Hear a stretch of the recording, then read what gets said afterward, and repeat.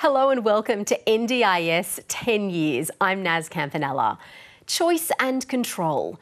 That was the promise of a national disability insurance scheme designed to replace a patchwork of services scattered across states and territories.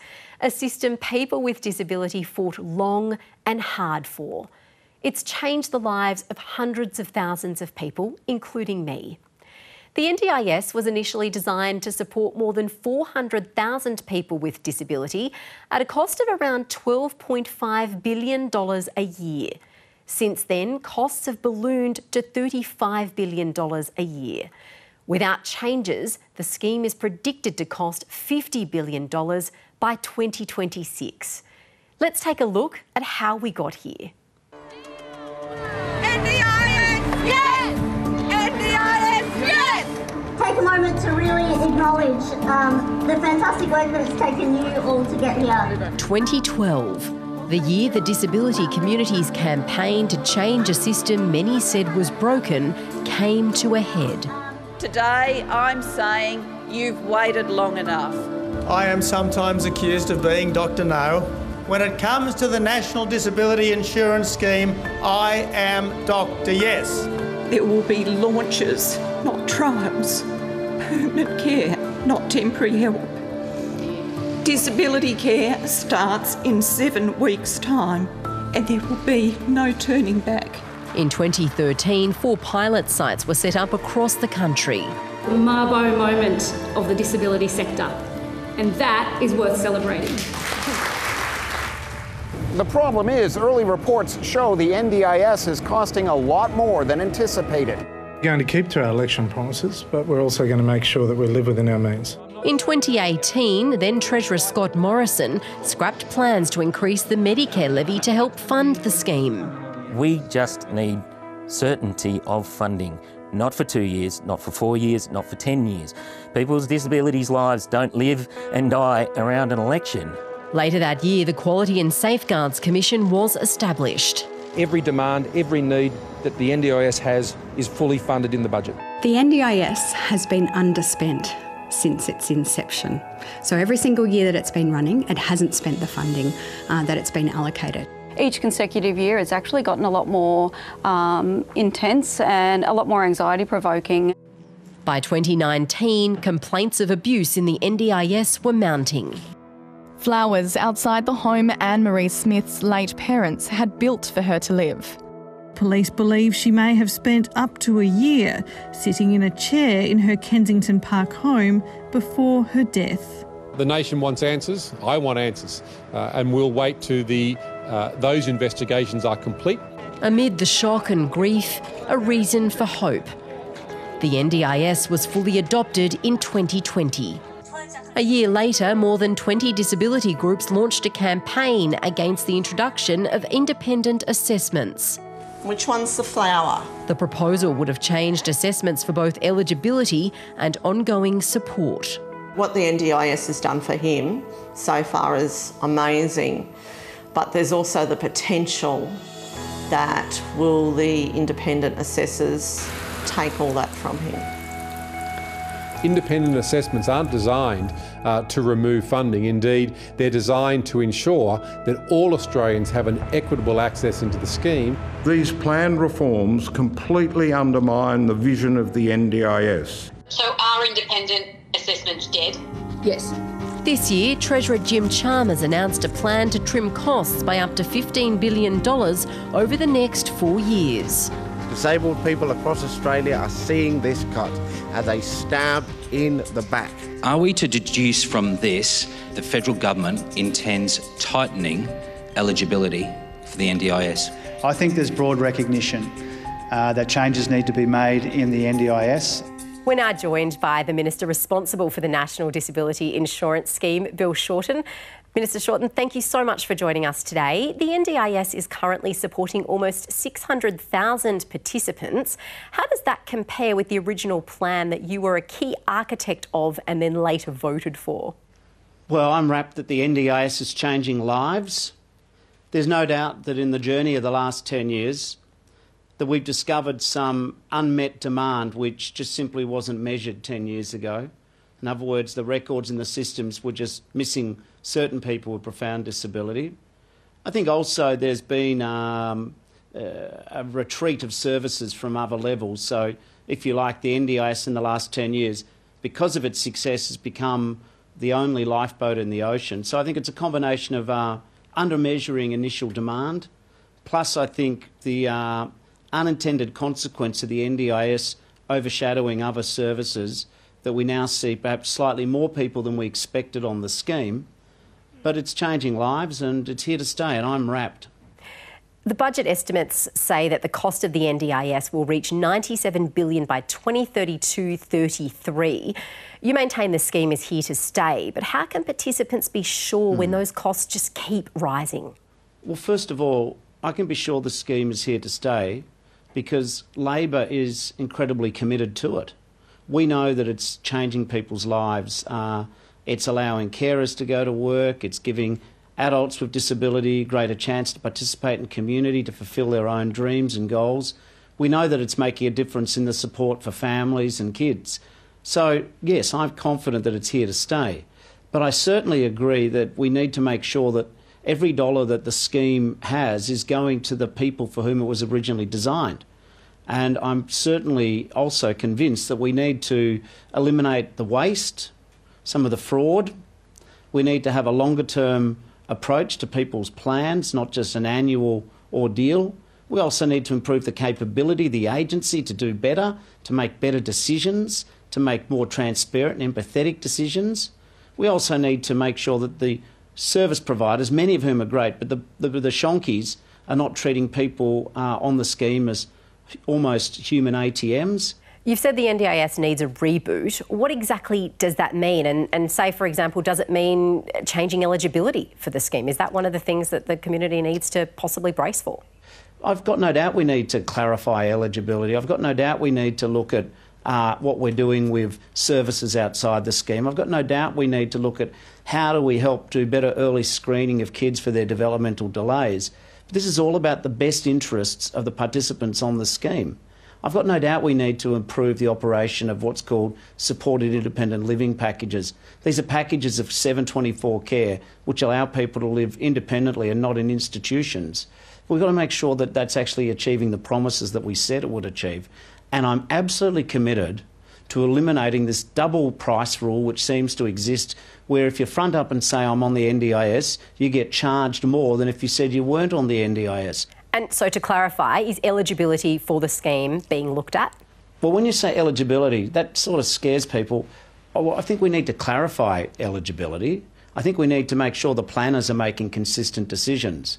As you've covered through your own remarkable investigative journalism over the journey of the NDIS, you could have people in the same family getting radically different results. You can have people in two different locations getting radically different results. Whilst it's an individual scheme, what people want is consistency and predictability. What people on the scheme and people with disability generally, I think, deserve is a doctrine let's not surprise people. Let's just be straight with people. What are the rules? How does it work? So I think it's clarification. I'm not interested in some mass headhunting of people. Uh, and I don't labour under the misapprehension that my predecessors did that there's tens of thousands of people on the scheme who shouldn't be. I do think that we've got two rounds of reform or improvement. One is to make sure that the federal agency is working properly, accountably, humanely, empathetically, consistently, transparently.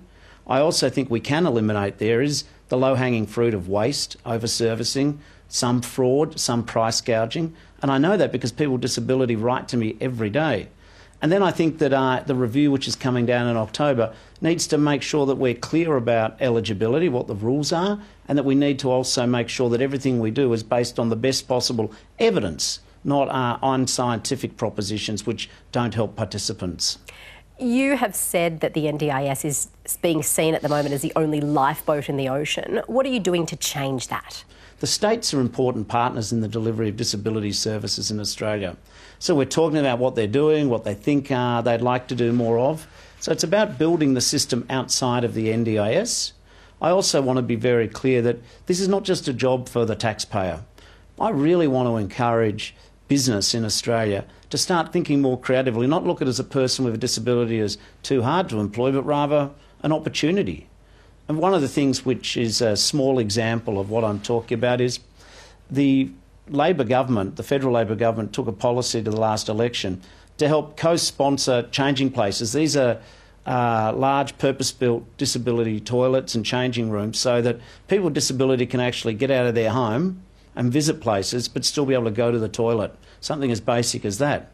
So we're going to work with councils and state governments on where we can put in another 400 of these changing places. But why on earth does the private sector need a government handout to make their facilities user friendly? So I think there's a lot more we can do. What are your hopes for the future of the scheme? I hope that we can come to a day where people uh, are not talking about it as a financial bin fire because it's not. So success to me looks like 80 year old carers at midnight wondering what's going to happen to their adult, profoundly disabled child. They no longer have that midnight anxiety. Success to me is lifting the number of people with disability uh, in employment, in parliament, in the media. It's to me making sure that kids can get a proper education without their parents feeling like being made to feel like bullies because they just want their kids to get a fair go.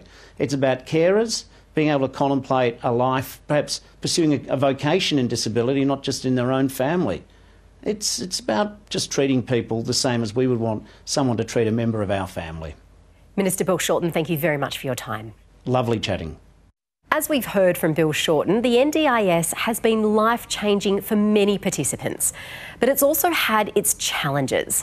To discuss the scheme, we're joined from Brisbane by disability rights campaigner and disabled woman Ellie Desmarchelier, and from Sydney by Damien Griffiths. He is the CEO of the First Peoples Disability Network and a descendant of the Worimi people. Both of you, thank you so much for joining me on the show.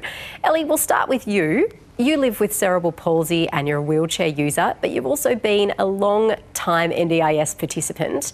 Tell us a little bit about your experience prior to being on the scheme. Well, prior to being on the scheme for 27 years, I didn't receive a single dollar of disability support. And that's because uh, it was a very fragmented state based system that meant uh, there was only so much money that the state gave to disability. And once it ran out, it didn't matter if there was 20,000 people that still needed support, you just didn't get support. And what about now that you've been on the scheme? What's your life like now?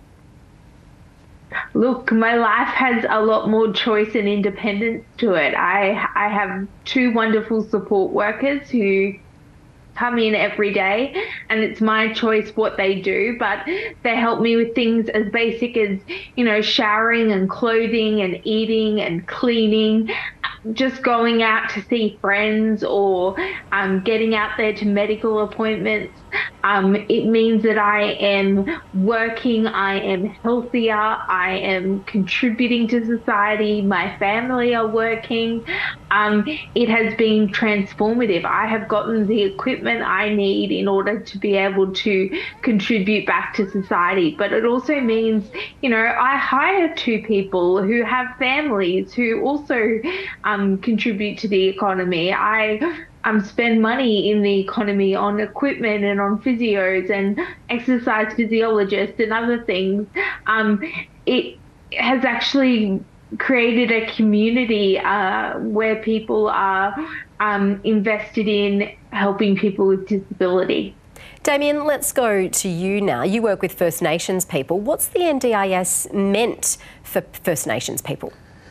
Well, it's no doubt, Nas, there has been some First Nations people with disability in their families that have benefited from the scheme, and it's certainly important to acknowledge that. But we would say that's more an exception than the rule. The fact remains that we would say there are at least 60,000 First Nations people with disability who are potentially eligible for the scheme, and we're nowhere near that number really in terms of participants. And that's especially the case in regional remote Australia where there are major barriers for many First Nations people with disability in accessing the NDIS. What are some of those major barriers in regional and remote Australia? Well, there's a number now. One of the most important things to recognise that a market-driven approach is, frankly, a bit of a nonsense in regional remote Australia. The economies of scale just aren't there. Um, so what we need to invest in more is a community-based response, community-led response so that community members can support their own community members with disability the way things always were. There's also very significant barriers in, terms of getting access to assessments. Uh, the intake process is very challenging for many First Nations people with disability and their families. There's a lot of risk attached with um, sharing a lot about your family situation or an individual situation with government authorities. A lot of First Nations families don't have great experiences of engaging with government historically. From your perspective, what's disappointed you about the scheme? Look, even as a very privileged, resource, knowledgeable person, I've had to fight the NDIS many times just for the basic things that I need in order to get by. Um, so if I have to fight the NDIS and struggle to do that, I can I've know from speaking to people in the disability community that there are many challenges. Uh, there's challenges around access, as Damien was talking about. Um, their access is too complicated, bureaucratic, and expensive to get reports. Uh, there's problems around planning. Planning is too inconsistent and it's not individualized enough with, um, to meet people's needs. And then, as Damien pointed to, yes, absolutely it's at its worst in First Nations communities, but the market driven approach doesn't work for everyone and, and everything.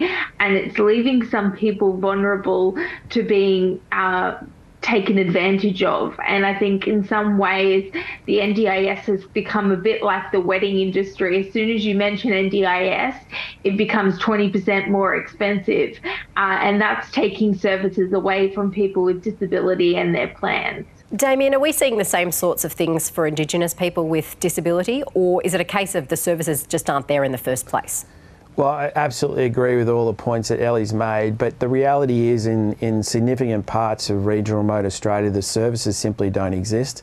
But we would say that it's not necessarily about services being the, the way to go. It's more about investing in communities. One of the great things that we have in our communities is we have a workforce. There are people already that are providing informal supports to community members with disability. They should be recognised and valued for that. Uh, if we have a community based response where community members support their own community members with disability, that's the way things are always done. So it's about returning to the old ways in many, in many ways. Damien, what do you want to see changed for the NDIS in the future? Well, there's some recent positive developments that we certainly want to acknowledge. The, the formal establishment of a First Nations Advisory Council, uh, which I co chair with the CEO of the NDIA, is long overdue, but we welcome its establishment. There are a number of First Nations people with disability from around the country that are on that advisory council. That needs to have authority. It needs to have a direct line to the FPDN board and needs to have the power to uh, make the recommendations that are so desperately needed. Um, also, the recent appointment of a First Nations person with disability onto the board, that's also another positive development. But having said all those things, it's only going to be effective if it's actually got an opportunity to make meaningful change to actually action advice that the First Nations Advisory Council will give, and frankly, to get on with the work that's long overdue to supporting a community led response to disability in our communities. Ellie, what would you like to see changed? Oh, look, um, there's so many places to you could see change happen. Um, first and foremost, I want to make sure that any changes are happening in co design with people with disability. I know so many people with disability that are engaging with this NDIS review and have so much hope in this NDIS review. I hope that any changes that are uh, taken from the review are implemented in co design with people with disability. I think housing is an area where there is so much innovation that could be done at the moment. Um, you know, NDIS funds have really been used to transfer state uh, group homes into fancier, flashier, nicer group homes under the NDIS. And we want to see people with disability given more choice about where they live, who they live with, and who delivers their support. But also, we need to remember that people with disability live lots of different types of lives. Some uh, actually have families and pets and um, actually need different types of housing support. So, how do we deliver housing in innovative ways which actually could be more efficient and actually save us money in the end? So, housing is a big area where I think the NDIS is currently spending a lot of money uh, instilling the segregated response, which the Disability Royal Commission highlighted as being uh, a place where you know d- people with disability at higher risk of violence, abuse, and neglect, and they're certainly isolated from the world in a group home setting. So we really need to see housing um, taken up and a big change there. Ellie Desmarchelier and Damien Griffiths, thank you very much for joining us on the program. Thanks, Nas. Thank you, Nas. Well, the National Disability Insurance Agency is the organisation that runs the NDIS. It provides support and information to hundreds of thousands of participants. And 2022 marked a significant milestone when, for the first time, a person with disability was appointed to lead the organisation. I'm joined now by the chair of the NDIA, Kurt Fearnley. Kurt Fearnley, thank you very much for joining us. When you were appointed chair of the NDIA, the National Disability Insurance Agency, you said that you wanted to stop, take a breath, and get to know the organisation. What have you learnt in the first eight months of your role? So the last eight months, actually getting to know the people that have been in the, the engine of the NDIS and getting to know how committed they are to the workforce, how there is a deep understanding of the importance of getting this, this agency and this scheme to be really working for people with disabilities, a, a level of commitment and understanding of also the, the experience of disability and also the power that, that this agency has, which is incredible, right? Like it gets to change the lives of hundreds of thousands of Australians Australians on a day to day basis. Take me back to the time when the NDIS was first rolled out. What was that like for you as a person with lived experience? I had the incredible experience to be able to be a part of the Independent Advisory Council uh, we got to travel around this country and, and meet with our future participants to talk about the very real reality that was facing our community. When you experience the lives of people with disabilities before we are where we are now, when you were hearing stories about a, a kid being funded one catheter a day to go to the toilet, and should you require more than once a day, you either needed the funds to adjust or you reuse what was a disposable experience, which which would then put you at greater risk of infection. It then uh, make you link your experiences as as a person with a disability to being being sick, which would then lead you into this inescapable health system. Um, uh, we would we would talk to participants or people with disabilities who who were the, the, the very real reality was that they were getting a shower once a week. You know, how do you engage with community when you don't have the dignity of feeling clean? There was a huge amount of excitement about what this could mean in defining a person's life around choice and control rather than a block funded system that defines your life in these you know in these in these small cages and didn't allow you the ability to to to, to ask for more Trust was arguably broken between the disability community and the previous government over independent assessments, and that plan really would have changed the way people were assessed for the scheme and ongoing funding determined. Earlier this year, a growth target of 8% was announced to help rein in the costs of the scheme, and many think that announcement came quite premature given the review hasn't been handed down yet. Is there still a trust problem? Look, I think that well, the, the target of 8%, and uh, I think any conversation around a, a, a, cap, I don't think, well, firstly, I don't think that was particularly legal because we operate underneath the NDIS Act and this is a demand driven scheme.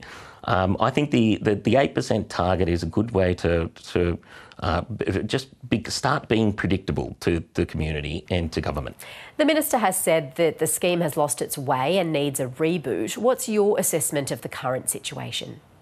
Reform is needed, and I think that the board and executive that's in play with the, the, the minister who is extraordinarily connected and, and committed to making this scheme scheme work, to making it be better. When you look back there are common elements where we need to, we need to also have the person with the disability along on the journey. And, I, I, I, should point out that the Minister has appointed half of the board are people with disabilities. We've got over 30% of the senior leadership team being those with lived experience of, of, of living as a person with a disability. Uh, and the, the, the percentage of, of the overall workforce, above 20%, you know, like, so we need to continue that pathway because this this agency was built by the, the lobbying and hard work and the, the, the community of, of people with disabilities and their families demanding justice, uh, demanding a better life for themselves and their children. Uh, and, and I think that if that is the case, we were born out of community, I think that it's only a reasonable ask to ensure that we have people with disabilities inside the agency who are bringing that conversation to every single level. Um, and, and, we do need reform so that when people enter into this scheme, they have a have a fairer and also a, a, a, a more predictable experience. What are your hopes for the future of the scheme? If I could hope for one thing, is that is that we we are truly listening to community. My hope is that this scheme, and uh, you know, as the first person with a disability to be in this role as, as, as chair, you want to make sure that you're not the last person with a disability in this role. I, I, hope that we are able to head down a pathway that community really understand what seems to be the base level knowledge of the community of people with disabilities that, that our voice needs to be heard. And when we are heard, we are able to make the experience of those around us and the experience of, of, of those in the, in the greater community better. Kurt Fearnley, thank you very much for joining us. No problems. As we've discussed, hearing from and listening to those with lived experience of the NDIS is key to ensuring it's fit for purpose and that it serves the needs of those who access it. Reporter Charles Bryce spent some time with two people for whom the NDIS has been life changing. You're going to do it, childcare. During the morning rush, Crystal Matthews prepares for a busy day ahead. Do you want smiley frits with your cheese? She's joined by her four year old daughter Zara and support worker Mel. You're going to have your yoga in here. Crystal lives with cerebral palsy, and it's only been in recent years that she's been able to receive in home support. So I've been able to realise how much easier my life can be if I just have a bit of support around the house. And I can really kind of focus on the things that are most important to me. The NDIS has completely changed my life, probably in every aspect. Just five years ago, all of her equipment and therapies were self funded. Now on the NDIS, she has a level of independence she never thought possible. I was able to get the supports that I need, and then on top of that, I was able to get the, this equipment that really allowed me to kind of get out more into the community. Now, with a walker and a wheelchair, her family is able to enjoy a quality of life most people take for granted. I'm able to go to the park with my family. I'm able to go on hikes and things like that, so it's been incredible. My personal favourite Christmas one is this one. The NDIS doesn't just support people with physical disabilities. Ben, who has Down syndrome, is also part of the scheme. I love all of the funding and everything that the NDIS does so, to actually help me with all my achievements that I've been doing. His list of achievements is long interning at a commercial radio station and even creating a clothing label. Now I have uh, someone that helps me with PR and public relations and uh, getting to know more internships everywhere I go. I'm very thankful for that. For Mum Sam, having Ben on the NDIS has been life changing. I think if you'd asked me 10 years ago, would Ben be able to catch a bus into town on his own, meet up with his friends, go and have a beer at the pub, and then come home later on an Uber, I would have thought you were dreaming.